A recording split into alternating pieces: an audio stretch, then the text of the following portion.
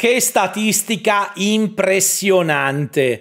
Da quando Roman Reigns è diventato campione universale a Payback 2020, ci sono stati ben 67 cambi di titolo nei roster principali della WWE e. Solo una certezza, l'imbattibilità del capo tribù, che il 27 maggio raggiungerà i mille giorni sul trono cementando ancora di più il suo nome nella leggenda.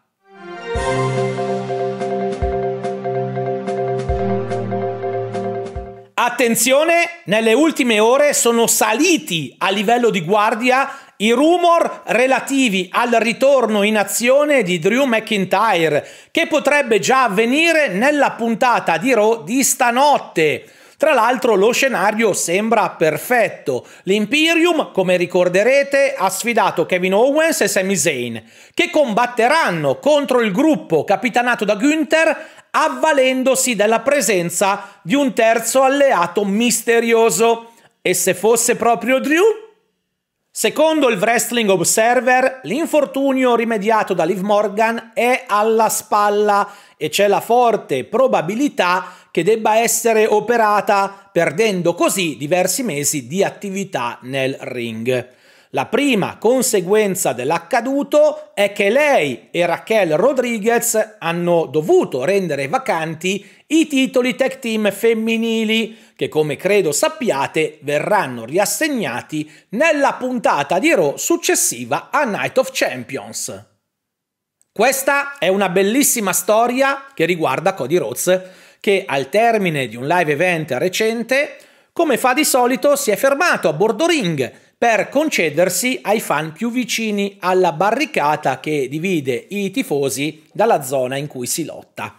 Insomma, le solite cose, no? Foto, autografi, sorrisi e pacche sulla spalla, ma ad un certo punto l'American Nightmare ha notato un bambino in lacrime, forse portato al pianto dal non essere riuscito ad avvicinare il suo idolo. E allora ha bloccato tutto. Cody si è fermato e lo ha raggiunto, lo ha consolato, lo ha preso in braccio, come vedete nella foto, e poi lo ha riconsegnato ai suoi genitori. Lo so, lo so, sono piccole cose, sono gesti minimali, ma la magia del wrestling sta anche in questi. In una recente intervista Steve Austin ha parlato di ciò che gradisce e di quello che non lo soddisfa del wrestling moderno. Il livello delle prestazioni è notevolmente aumentato, ha detto, e oggi uomini e donne fanno cose incredibili. Io sono un fan di football e se considero le star del passato come Mean Joe Green dei Pittsburgh Steelers, squadra di cui ero un grande tifoso, e le comparo con ciò che fanno i loro eredi, noto che questi ultimi sono più rapidi, più veloci. Ovviamente tutto lo è, eppure le inquadrature televisive sono ottimizzate per questo.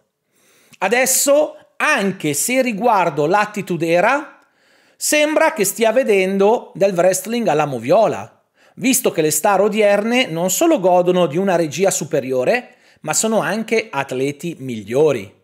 Alcune delle sequenze che propongono mi piacciono parecchio, ma questo mi porta a ciò che non mi piace, e cioè al fatto che c'è troppo della stessa cosa.